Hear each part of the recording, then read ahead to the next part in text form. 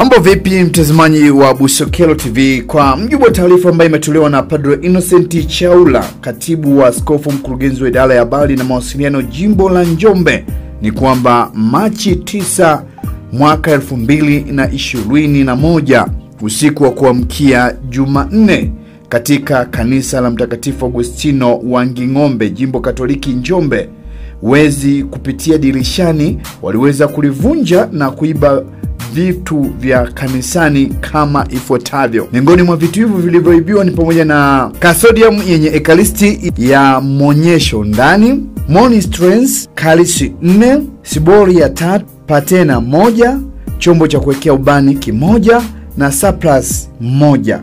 Vyombo hivi vilikuwa vikitumika kwa ajili ya maadhimisho ya misa takatifu na ibada za kuabudu ekaristi takatifu. Wezi hao wamechagua vitu vyenye rangi ya dhahabu tu, vile vilivyokuwa na rangi ya shaba vimeachwa. Aidha, watu walifungua tabenaklo na kuchukua sibrium yenye ekaristi takatifu. Ekaristi takatifu walimwaga kwenye meza na wao wakaondoka na chombo hicho. Hii ni taarifa ambayo imetolewa na uongozi wa jimbo la Njombe Katoliki ambao walifika eneo la tukio na kuthibitisha kutokea kwa tukio hili. Sasa dunia inakuelekea, sijajua ni wapi, lakini watu kuiba hadi kanisani, hii ni hatari nyingine tena bwana. Usiache kusubscribe Busokelo TV. Mi naitwa Dennis Nyali.